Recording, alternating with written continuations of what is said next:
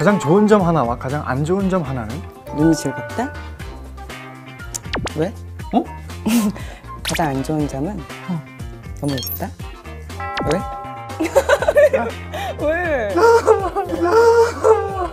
아 그럼 다시 할까? 어떻게? 가장 좋은 점은 똑같잖아요. 너무 멋진, 너무 예쁜, 너무 멋진 사람. 아 그 걸로 가자. 서혜지와 연기하면서 가장 좋은 점 하나와 가장 안 좋은 점 하나는? 다들 듣고 있어서 알겠지만 목소리가 아주 매력적이야. 귀가 신나니까 이 드라마는 라디오로 들어도 되겠다 할 정도로 이제 목소리가 너무너무 좋아. 고마워. 안 좋은 점은? 그 목소리가 아니 아니 아니 아니 고민을 많이 해. 어떻게 더 좋은 소리를 내?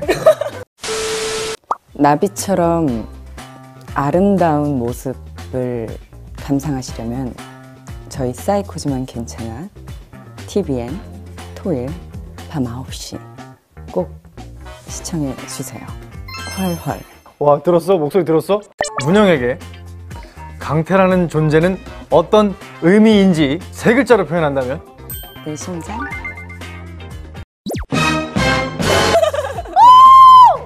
고문영의 매력 포인트를 다섯 글자로 표현한다면? 많이 차가워. 그래 차가워 그래 그래서 매력적이지 그래 그래서 매력적이지 자 강태가 갖고 있는 의외의 땡땡미 허당미. 허당미 그치 강태가 허당미 허당미가 좀 있지 정해진 운명은 강태 옆에 항상 있어. 강태 뾰족한 턱. 왜? 뾰족한 어깨. 어? 잘 뻗은 손가락. 응? 응. 긴 다리. 응? 완벽.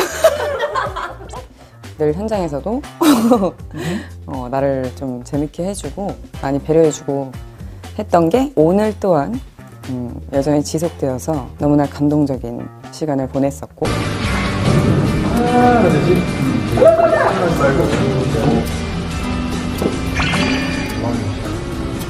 죄송합니다 이거 예 제가 예 제가 처음부터 예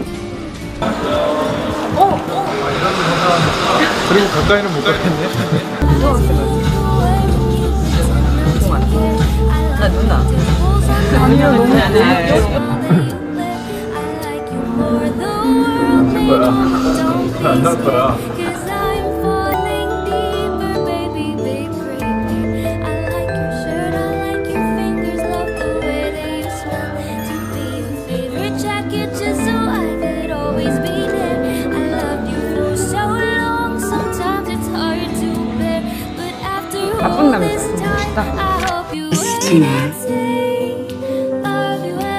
예쁜 얼굴 안 보여